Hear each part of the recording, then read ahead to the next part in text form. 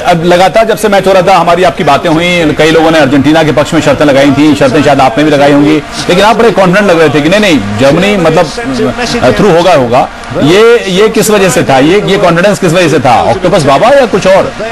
चौथे मिनट, यानी चौथा मिनट पूरा भी नहीं हुआ था और तभी एक शानदार पास पे हेडर के ज़रिए इस गोल को एक एक मूव बना था जिसमें कुछ अर्जेंटीना के समर्थकों के लिए था, लेकिन चारों के चारों ऑफसाइड निकले थे।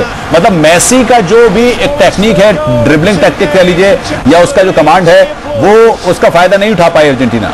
बिल्कुल मुझे लगता है वो चीज़ कहीं मिसिंग नज़र आई अगर मुख्य तौर पर देखा जाए तो चाहे वो मेसी हो क्रिस्टियानो रोनाल्डो हो या फिर उधर रूनी हो इस तरह के खिलाड़ियों पर क्लोज ने ज़रूर एक, एक तरह से अपने अपने उस स्टेटस को मेंटेन किया लेकिन ज़्यादातर उतना अच्छा खेल नहीं दिखा पाए जितना अच्छा वो अपने क्लब्स के लिए दिखाते हैं। क्या कमेंट कमेंट आते हैं। लोगों के लिए मज़ा ज़रूर थोड़ा फीका हो गया है इन दोनों टीमों के बाहर जाने से। बिल्कुल बिल्कुल। जी हाँ ब्राज़ील और अर्जेंटीना का जो सफ़र खत्म हुआ उससे मज़ा ज़रूर खत्म हुआ है। और hand of God Diego Maradona का वो वो करिश्माई गोल और वो करिश्माई परफॉर्मेंस लोगों को याद है। और हिंदुस्तान के लोग शायद इसीलिए सेंटिमेंट के तौर पर मैराडोना से जुड़ते हैं और जुड़े भी हैं। पूरी पूरी दुनिया मुझे लगता है कि पूरी दुनिया में शायद मैराडोना की चाहने वाले इसीलिए हैं। बहुत बहुत शुक्रिया आपका। हमसे बात करने के लिए इस पूरी जानकारी के लिए तो लिहाजा जर्मनी ने एक, एक बहुत कंफर्टेबल जीत और बहुत ही एक, एक बड़े अंतर से जीत ली है लेकिन मज़ा कहीं थोड़ा कम ज़रूर